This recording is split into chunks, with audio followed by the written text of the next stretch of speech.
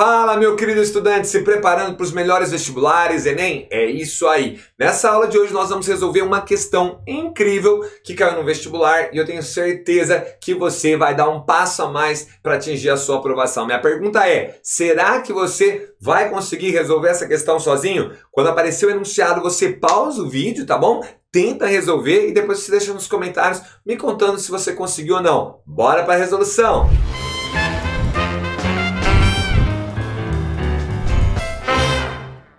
Que eu quero de vocês aqui? Eu quero que vocês vejam como esse exercício, se você tem total ideia do que está acontecendo, era muito fácil. E se você não tiver total ideia, mas seguir os padrões que eu sempre te ensinei, vai ser muito fácil. Pelo menos o item A, de boa. Vamos começar. O Rodrigão, o Rodrigão não, Maria Fernanda ia me ajudar. Aí sim, Maria Fernanda. Maria Fernanda, você está com o microfone aí? Você consegue abrir o microfone? Eu tô, Rafa. Ótimo, então você vai me ajudar. Começa a leitura.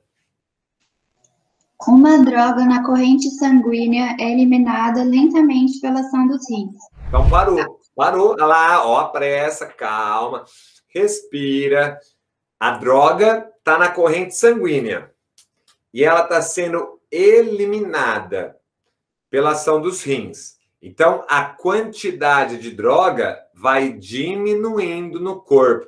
Tá bom, já entendi. Prossiga.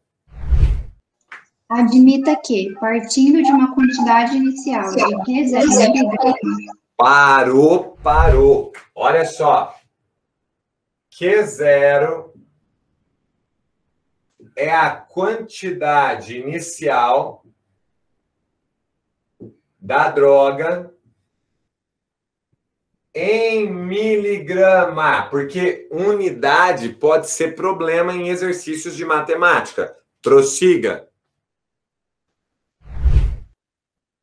Após T horas, a quantidade da droga no sangue fique reduzida a. Então, ó, já sei que T está indicando o número de horas, e aí ele deu essa formulinha. A quantidade de droga no instante T é igual à quantidade inicial vezes 0,64 elevado a T. Para, nós não podemos prosseguir.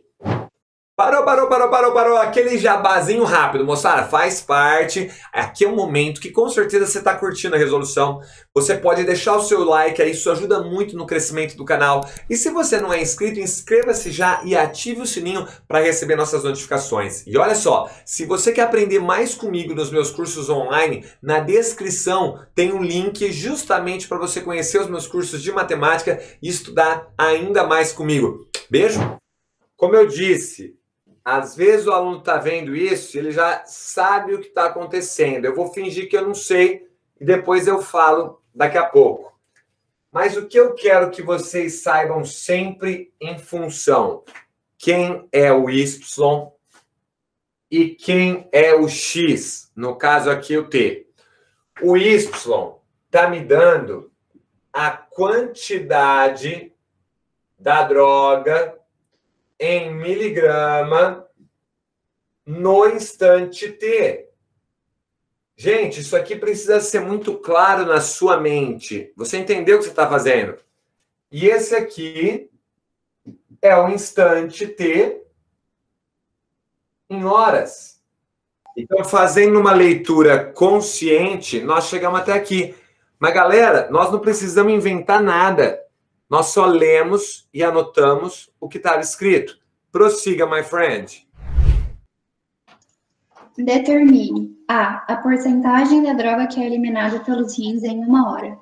Muito bem. Maria Fernanda, o que você está querendo fazer para achar a quantidade. Peraí que eu perdi a quantidade para achar a porcentagem da droga que é eliminada pelos rins em uma hora. O que, que você está querendo fazer aqui? Substituo T por 1. Acabou. Acabou. Agora, gente, olha o que eu quero trabalhar com vocês. Estou usando a Maria Fernanda aqui de minha assistente para isso. Vocês viram que ela escreveu ali que ela tinha sim bananado. E aqui eu não fiz nada até agora. Nós só organizamos a informação com a princesa Leia e ela mandou eu pôr o T igual a 1. E aí eu vou ter aquela coragem que eu peço para vocês ter. Eu não sei se vai dar certo ou não, mas eu vou fazer o que ela está mandando. Porque manda quem pode, obedece quem tem juízo. Vou obedecer. No lugar do T, coloquei um. Maria Fernanda, olhando isso, me ajuda. Quanto que é 0,64 elevado a 1? 0,64. Então, posso escrever isso? Só fala sim ou não. Tudo bem? Ótimo. Agora, agora que vem o X da questão. Ele está perguntando qual a porcentagem da droga que foi eliminada. Responde o que eu vou te perguntar. Isso daqui em porcentagem é quanto? 64%. Ótimo. Então, vamos interpretar. Após uma hora, a quantidade que eu tenho no sangue da droga é 64% da quantidade inicial. Eu vou te perguntar, qual foi a porcentagem eliminada? Putz, Rafa, 36. Ah! Ah! Ô, gente, isso que aconteceu com a Maria Fernanda acontece todos os dias com a maior parte dos alunos. Agora a Maria Fernanda vai me ajudar.